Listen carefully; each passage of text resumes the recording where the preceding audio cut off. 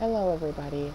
I am making a video on an idea I've had for a while. I just wasn't sure what horse breed to start with.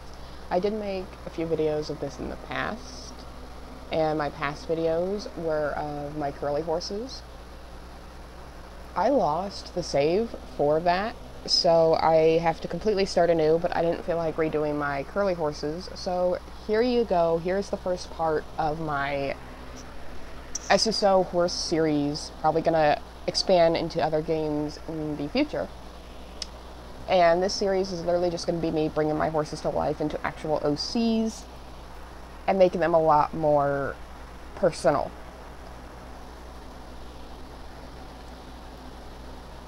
I am starting with my Mustang horses, and I figured I'd start off right off the bat strong with a Generation 3 horse. This is the Generation 3 Black Leopard Appaloosa.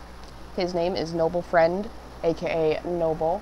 He is or well, is my first Gen 3 Mustang. I do plan to do more. I'm going to do all the Mustangs I own. And I'm going to put in here real quick. These are going to be horses that I own. I am not going to be doing, at least not yet, but I am not going to be doing a horse color or breed that I don't own.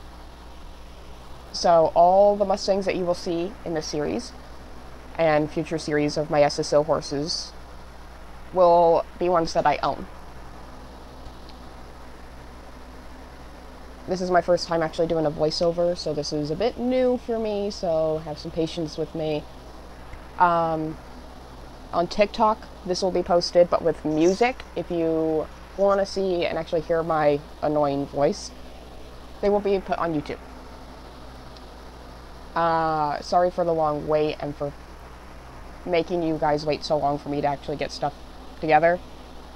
I actually have my fiance starting to help me out to make sure I stay on top of things and I don't forget things because of how busy my life has been. But just to kind of put in a video as well, in case you don't read the description real quick, I only have about a minute to say this, but I will be posting twice a week on Sundays and Thursdays.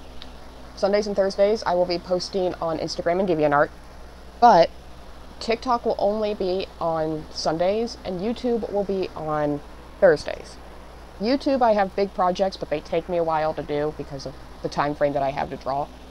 And I don't want to overwhelm myself and do too much at once. So I'm going to be posting up shorts if I don't have an actual full-on video. But I hope you guys enjoyed this video. Take a look at the finished product, and I hope you enjoyed.